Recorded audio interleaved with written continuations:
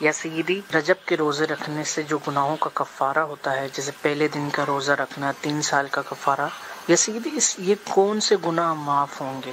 گناہ کبیرہ، گناہ صغیرہ، اس کا ارشاد فرما دیجیے جزاک اللہ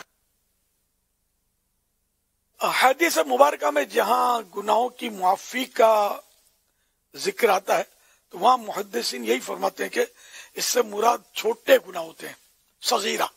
صغیرہ کبیرہ نام سب نے سنا ہوتا ہے، لیکن عام طور پہ پتہ نہیں ہوتا کبیرہ کس کو کہتے ہیں صغیرہ۔ تو کبیرہ نے بڑے بڑے گناہ، جیسے نماز نہ پڑھنا۔ معاذ اللہ جان بوجھ کر ایک نماز بھی قضا کی کسی نے، تو اس نے کبیرہ گناہ کیا۔ تو یہ صغیرہ یعنی چھوٹے گناہ یہ معاف ہوتے ہیں۔ اور چھوٹے گناہ کو اگر چھوٹا سمجھ کے کیا تو وہی کبیرہ بن گیا۔ تو اب یہ کبیرہ ہے۔ تو اب یہ اس کے تحت تو بظاہر تو نہیں آ رہا جو اس محدثین کا کلام ہے کہ چھوٹے گناہ معاف ہوتے تو چھوٹا رہا نہیں نا۔ یار چلو صغیر ہے نا، چھوٹا گناہ نے کر لو یار۔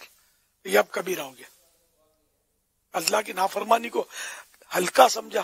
نہیں، کبھی سوچنا بھی نہیں چاہیے سر گناہ کر رہے نہیں چاہیے نا۔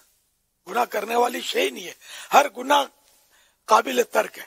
اس کو ترک ہی کرنا ہے۔ قابل ترک بلکہ اس کا ترک لازم ہے۔ صلوا على الحبيب صلى الله على محمد.